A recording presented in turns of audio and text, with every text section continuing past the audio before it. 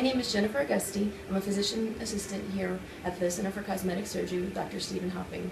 Recently, Radiesse has been uh, FDA approved for injection into the hands.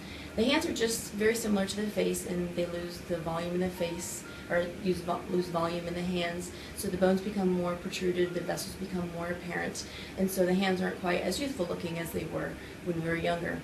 To start the procedure, we examine the hands to see where maybe some deficits are mark where it is that we might want to inject, and then we inject small little amounts into the areas that are needed that have that volume loss.